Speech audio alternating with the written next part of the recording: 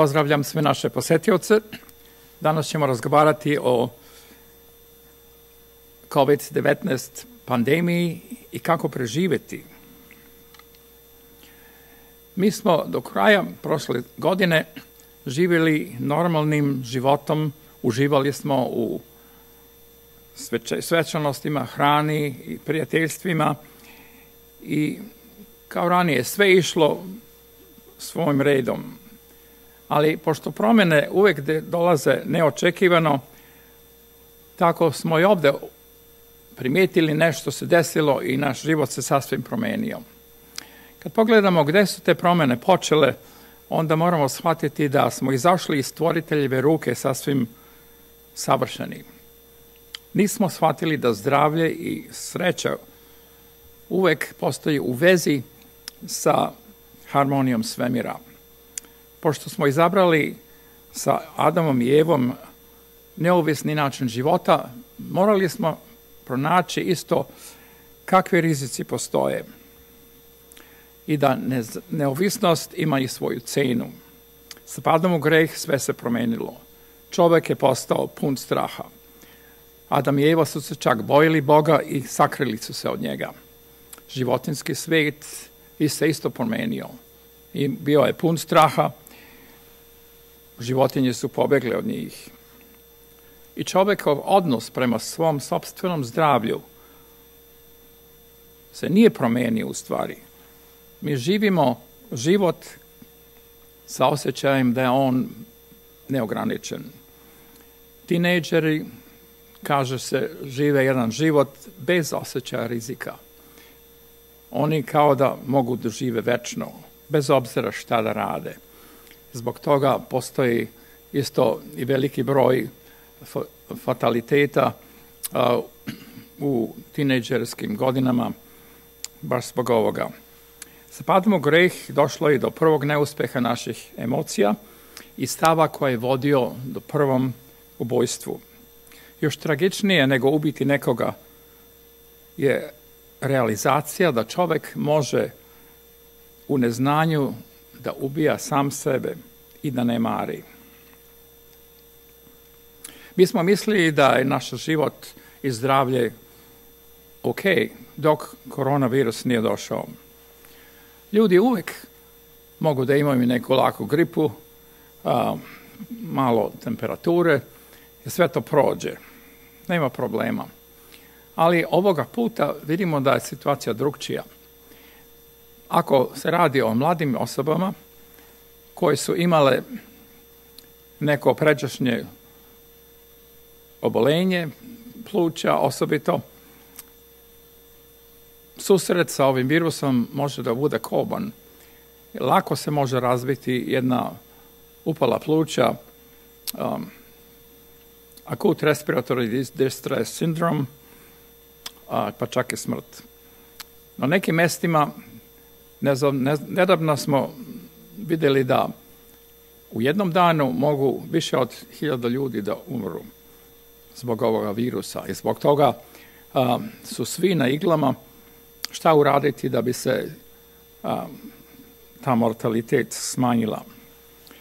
Bilo šokalno da ljudi nisu znali ni kad su se inficirali, ni kako su oni prenosili tu infekciju. Tek posle tri dana mogu simptomi da se razviju, tako nam kažu, ali nema više, nema još ni vakcine. Do sada je ustanovljeno da hidroksiklorokvin, jedan stari lek koji se upotrebljava za malariju, je pokazao efikasnost protiv ovoga virusa, pogotovo ako je kombiniran sa zitromaksom, jednom formom eritromicina. Ovo je u daljem ispitivanju. Mnoge grupe rade na stvaranju neke vakcine, ali će to još trajati. Biće lošije pre nego što bude bolje. COVID-19 je pandemija čije iskustvo izvanredno neviđena u našem životnom dobu. Zbog čega? Zato što postoji misteriozni karakter, moguće opasni, a isto tako ne znamo koliko taj efekt može da traje. Imamo prirodne katastrofe kao uragani ili zemljotrese koji su ograničeni vremenom i opsegom. Ali ova globalna pandemija je nešto što ne možemo obuhvatiti i zbog toga stvara emocionalne efekte. A to su nesigurnost, briga i strah. Ima duboki emocionalni efekt na ljude koji su u kvaranteni. Neočekivano ti ljudi moraju da promene svoj svakodnevni način života i navike. Na nekim mestima, neću spomenuti gde, oni dobiju svega tri sata vremena da izađu iz svoje kuće za vreme cele sedmice.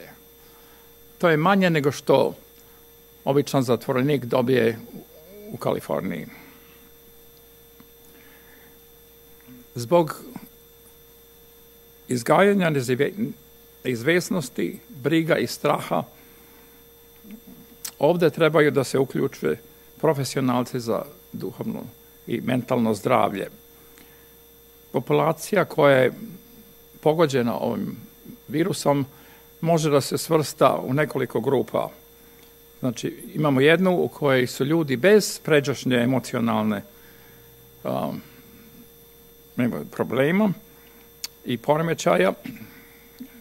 Znači, za njih je to samo jedna normalna reakcija, oni će preduzeti odgovarajuće mere um, da bi se zaštitili i pripremili. Za ovakve ljude basically se koristi ekvivalent jedne hitne pomoći, znači ako se pojave simptomi, on, onda treba te simptome um, lečiti. Sa dobrom informacijom i savjetom ovi ljudi bi trebali da su u stanju da upravljaju teskobom, zabrinutosti i disforijom koja je povezana sa ovim kritičnom pandemijom. Grupa sa prethodnim emocionalnim problemom i bolestima, zanimljivo, kao škizofrenija, non-afektivne i afektivne psihoze imaju manju reakciju na, na efekte katastrofa. Zatim postoje oni koji su prethodno imali mentalno stanje povezano sa raspoloženjem, znači efektivne bolesti, like bipolar disorders, um, teskobom, stresom i uh, obsesivnom sklonosti. Pandemija sa svojim stresom će u ovim slučajevima pojačati njihove simptome i potrebu za prilagođavanje njihove nege. Povećanje postojećih lekova ili dodavanje dodatnih lekova ili češći, češća poseta svojim lečnicima i terapeutima. Mere koje treba preduzeti moraju biti efikasne, pogotovo što imamo sada još situaciju u kojoj su ljudi u kvaranteni ili im se preporučuje da ne napuste svoju kuću, znači putovanje i posjećivanje um, lekarske prakse trenutno je obeshrabreno i razgovor sa pacijentima treba koristiti virtualnu komunikaciju. Znači FaceTime, Skype, Webex, Zoom ili neke druge. Moguće je da pandemija može da pronađe put a, ka diluzijama, znači zabludama u nekim emocionalnim bolestima i da pojača njihove simptome. Paradoks sa mentalnim bolestima je da pacijenti često reagiraju manje nego normalne osobe na krizu. Zbog toga će u ovom, ovoj situaciji biti potrebno da se ne više hitne pomoći pruža nego što je potrebno. Kako se nositi sa neočekivanim situacijama? Oni koji su zabrinuti, ali bez pređašnjih problema, imaju znači jedan normalan strah od izlaganja. Njihova anksioznost je povezana i tretira se na normalan način kako bi se neko ko je anksiozan pretirao. Zamislite da ste u jednom zrakoplovu ili avionu i da odjednom spadne pritisak kiselnika i traži se da vi pomognete, stavite taj kiseonik na sebe pre nego što ćete pomoći drugima. Na isti način, isto tako, morate zamisliti, razmišljati o zaštiti, kako ćete ograničiti izloženost svoju i nazreti vlastito fizičko stanje. Nakon toga morate biti zabrinuti za svoju obitelj, prijatelje, ali i društvo. Ovo je situacija u kojoj je briga za bližnje imperativna. Vidimo znači da se nalazimo u jednoj kritičnoj situaciji, mi ne znamo koliko dugo će trajati i zbog toga je bitno da učinimo sa svoje strane najbolje da se održavamo uh, u životu.